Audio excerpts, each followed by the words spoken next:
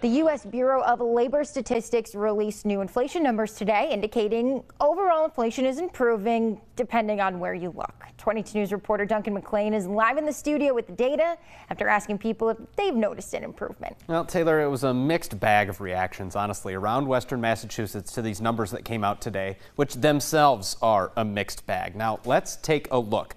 We'll start with year over year numbers. Overall prices are up 3.2% over the last 12 months. Now, that's a far cry from where they were back then, growing very quickly when inflation was up over 9%.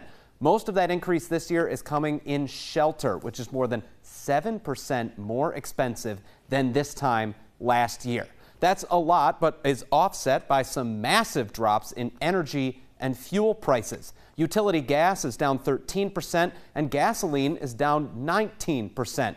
Now, there's a big difference, honestly, between on paper and in public, but these seem to be holding up.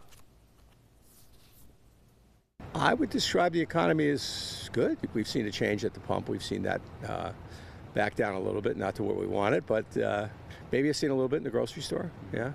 The, the area I don't think people are seeing is housing, rental costs. I think that's that hasn't been impacted, but yeah, yeah, we're seeing a little movement.